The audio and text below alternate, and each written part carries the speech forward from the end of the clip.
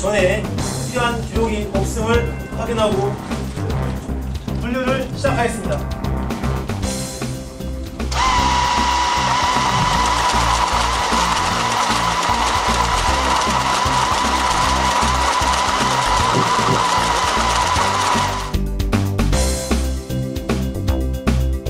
무효표가 특정 후보자로 분류한다고 오해하는 사람들이 있습니다. 이 경우에도 무효표에 해당합니다. 예, 내리시고.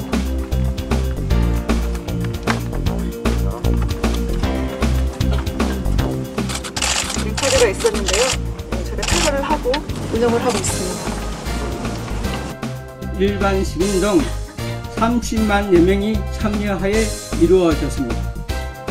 다른컨대 이러한 환경에서 선거 부정을 저지르기 위해서는 선거 관리에 관여한 모든 사람이 조작에 가담하지 않고서는 불가능한 일입니다.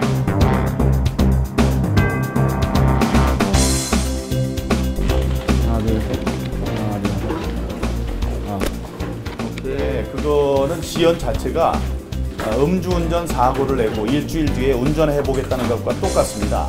음주운전 사고는 당일 유효입니다. 부정선거도 당일 유효예요. 그거를 우리나 검찰에게 맡기시기 바랍니다. 그러면 우리가 증명을 해보이는 거지. 두 가지 색깔로 된 투표용지가 나오게 나온 것을 발견하게 됐었습니다. 투표 중, 중지를 소리를 지르고 신고를 했었습니다. 그 중에 누군가가 저한테 의혹이 있으니 이것도 신고를 하세요 하고 주셨던 투표 용지가 또 개표장 밖으로 들고 나올 때 이게 불법이다라는 건 아, 몰랐어요.